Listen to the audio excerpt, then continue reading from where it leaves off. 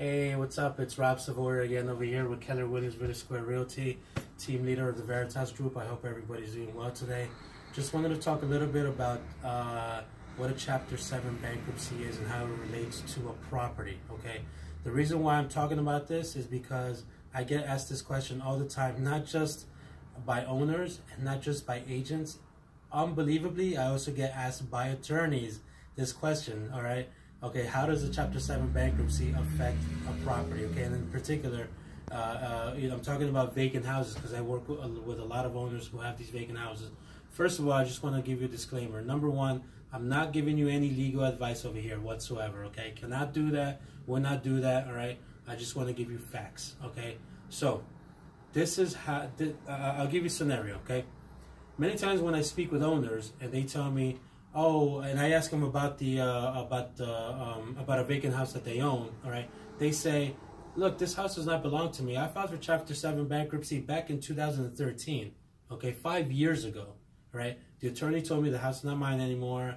I had to leave there. In fact, let's say it was a two, three, or four unit property. Uh, the the attorney even told me that I needed to tell all the tenants to leave. The house needed to be vacated because the house now belongs to the bank. All right. Well, the fact is this: the house does not belong to the bank until the bank forecloses on the property. Okay. The way the way that it works over here in New Jersey, okay, is that we are a deed state, meaning that when you purchase the property, your name goes on the deed. So in order for your house not to belong to you anymore, you either have to sell it, okay? You either have, or the bank is going to foreclose on the property, okay? Now, when you filed for Chapter 7 bankruptcy, what that did was it, uh, it, it, it, it basically discharged it, it, it erased the, it, erased the financial obligation that you have to pay that mortgage. Let's say you have two mortgages. You filed for Chapter 7 bankruptcy. You told your attorney, I don't, I, I don't want this headache anymore. Okay.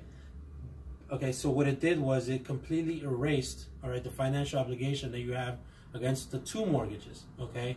Now, that doesn't mean that the house doesn't belong to you. Basically, the bank or the banks, all right, depending how many, depending on how many mortgages you have, they still have a right on that property. They have a recorded mortgage on that property, but the property still belongs to you.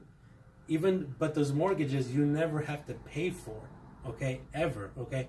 And this is one of the reasons why you see so many vacant houses around because many of these owners they filed for bankruptcy, okay, and on the advice of their attorneys. And I'm not saying that these attorneys gave them bad advice. It just, it, it, I just wish it was a little bit better, okay, because the house still belongs to the owner, okay?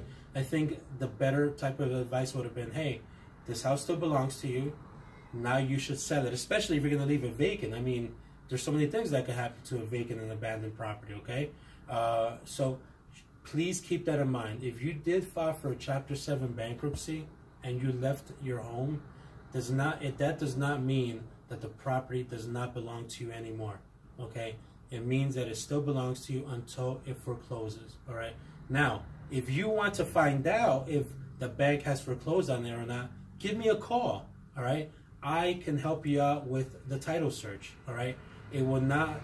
I, I, I will do it at no cost to you whatsoever. It takes a matter of minutes. right?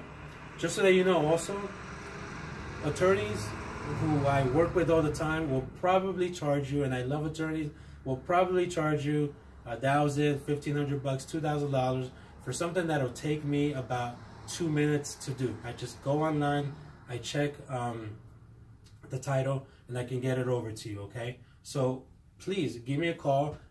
It will not cost you a penny. All right. Uh, once again, my number is 908-432-2526. That's my direct phone number. Call me any, uh, call me anytime, right? If I don't pick up, leave a message, right? And I'll see you in, in, in the next video.